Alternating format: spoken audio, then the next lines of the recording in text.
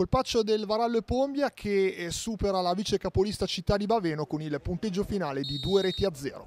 Andiamo con le azioni principali. All'ottavo minuto c'è un salvataggio di terzi sul ritorno di Ado. Il tutto nasce da un'incomprensione con Accordino.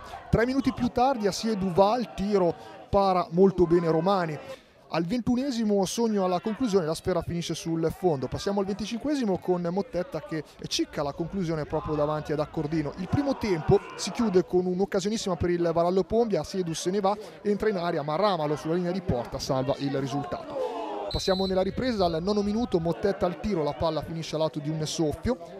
Un minuto dopo Sogno va alla conclusione, a Cordino si immola. Al ventiduesimo quindi angolo di Quadio. Ado si gira e il tiro appunto di questo giocatore dà l'illusione ottica del gol. Al ventitresimo il Varallo Pombia passa in vantaggio. A Siedu grandissima azione personale, la palla tocca la traversa e finisce imparabilmente in gol.